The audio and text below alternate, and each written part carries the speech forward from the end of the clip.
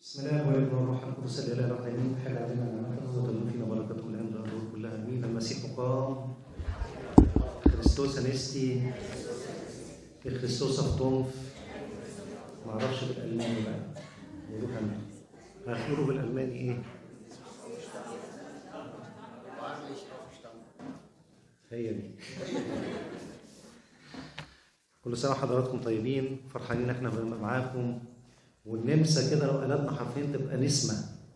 فأنتوا زي النسمة. فمبسوط إني أكون معاكم وأخد بركتكم. النهارده قراءات اليوم بتتكلم على الإيمان. لو حد فيكم مركز كده وشاف معلمنا بولس الرسول بيتكلم عن أن إبراهيم آمن فحسب له برا وتبرر إبراهيم بالإيمان. بيتكلم عن الايمان كسيليكون بيتكلم على إن إحنا صرنا أبناء الله بهذا الإيمان بسبب إيماننا من المسيح ظهر في الجسد وهو ابن الله بالطبيعة فبتجسده اتحد بطبيعتنا البشرية فصرنا نحن أبناء الله بالتبني فيه. مع إحنا بقينا أولاد ربنا بسبب إيماننا أن الله الابن الله الكلمة تجسد واتحد بطبيعتنا البشرية فصارنا نحن أولاد الله بإيماننا بالمسيح المتجسد وبالولادة طبعا بالولادة من الماء والروح. والإبراكسيس بيتكلم على الآيات الكثيرة التي كان يصنعها الآباء الرسل بهذا الإيمان بإيمان بابن الله الذي تجسد ومات لأجلنا وقام في اليوم السادس. هذا الإيمان مطلوب لإيه؟ للإنجيل بقى، الإنجيل بيكلمنا عن خبز الحياة اللي هو مين؟ جسد المسيح ودمه. إن لم تأكلوا جسد ابن الإنسان وتشربوا دمه فليس لكم حياة أبدية فيه. فاليهود ابتدوا يتذمروا كيف يستطيع هذا أن يعطينا جسد ودمه؟ هنا بقى محتاجة إيه؟ إيمان، محتاجة الإيمان. ما ينفعش واحد يجي يقول الخبز دوت ما ينفعش يتحول جسد والخمر دي ما ينفعش تتحول لدم.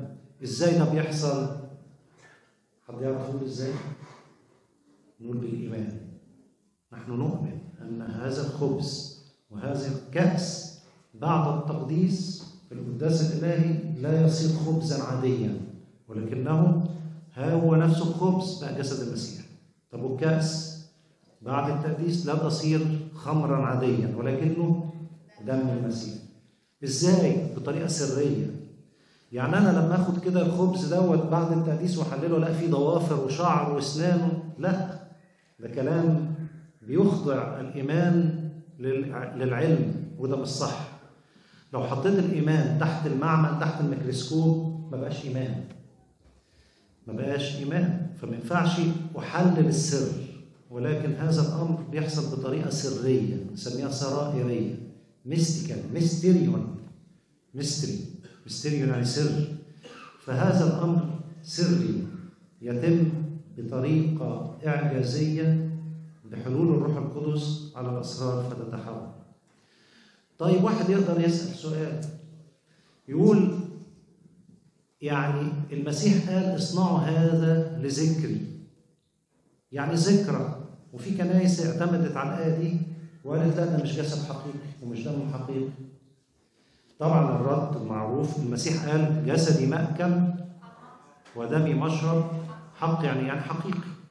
يعني ما هواش صورة ولا رمز ولا حاجة. ومع هذا في إجابة حلوة واحفظوها الذكرى. ما معنى الذكرى؟ في ثلاث أنواع من الذكر. ثلاث حاجات من الذكر. ذكرى عقلية. وبتتكتب في التاريخ بنسميها ذكرى تاريخية.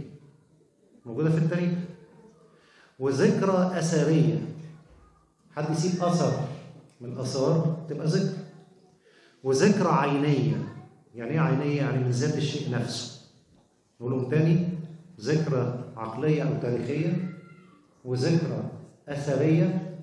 وذكرى عينية. من ذات الشيء نفسه. الذكرى التاريخية كلكم الكتاب المقدس المسيح ساب لنا الثلاث ذكريات. عشان نوضح ذكرى التاريخية التاريخ الهيستوري أي تاريخ أمم تاريخ شعوب تاريخ حياة إنسان السيرة الذاتية لشخص.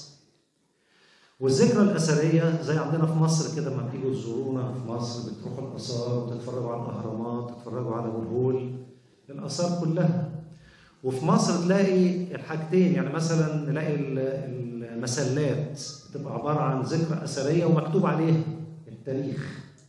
فذكرى أثرية وتاريخية. تمام؟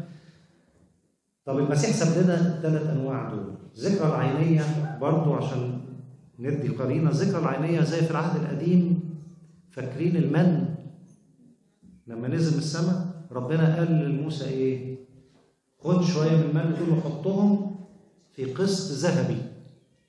وتاخد القسط الذهبي ده تحطه في تابوت العهد. أهو المن اللي في القسط الذهبي ده غير المن اللي نزل من السماء ولا هو هو؟ يبقى من ذات الشيء عينيا المسيح ساب لنا الثلاث ذكريات دول. ساب لنا ذكرى تاريخية ولا ما سابش؟ فين؟ الاناجيل الكتاب المقدس. لما نقرأ الاناجيل بنقرأ حياة يسوع المسيح. هو مكتوب كده. وبعض المعجزات اللي عملها عشان كده يوحنا الإنجيلي قال كده الأعمال التي عملها لو كتبت واحدة فواحدة لا أظن أن تسع العالم الكتب المكتوبة. حاجات كتير جدا عملها المسيح لكن كتب إيه؟ فذكرى تاريخية كتبت لنا عن المسيح. طب في ذكرى أثرية؟ ها؟ عندكم جنبيكم إيطاليا ها؟ تورينو عارفين كفن تورينو؟ طيب والقبر في الخشرين قبر الفارغ واللي بيروحوا يزوروا يقدسوا وياخدوا بركة الأماكن المقدسة كلها يبقى ساب لنا ذكرى تاريخية وذكرى أثرية. طب الذكرى العينية بقى؟ جسد ودم. هو عمله في يوم خميس العهد وساب لنا الذكرى دي دائمه معانا على طول. هي نفس الشيء. ما صنعه المسيح في خميس العهد نصنعه كل يوم على المذبح يبقى محدش يقدر يقول ده ذكرى يعني حاجة كده إيه عشان نفتكر المسيح بيها لا ده هو نفسه بذاته موجود معانا كل يوم على المذبح بجسده ودمه ونتحد ربنا يثبتنا في هذا الإيمان يعطينا إيمان ثابت غير متزعزع ونستطيع أن نجاوب كل من يسألنا عن سبب الرجاء الذي فينا. ربنا يفرح قلوبكم له المجد في كنيسته.